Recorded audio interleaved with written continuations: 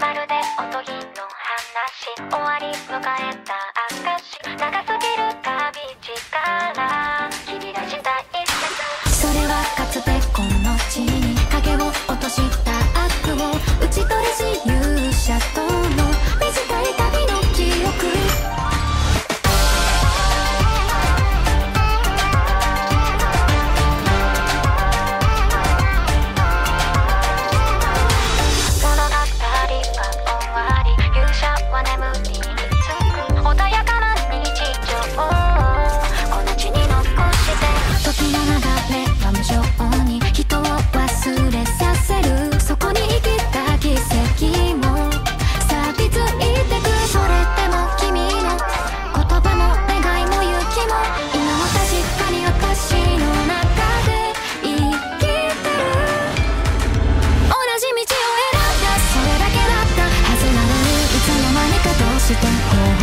伝え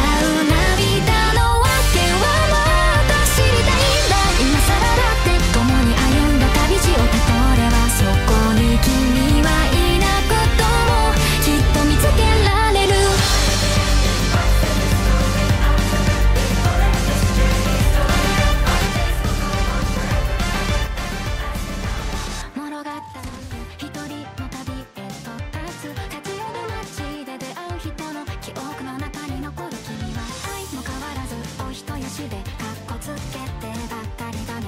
あちらこちらに作ったシンボルは勝ち取った。平和の証それすら未来でいつか私が一人にならないようにあの旅を思い出せるよ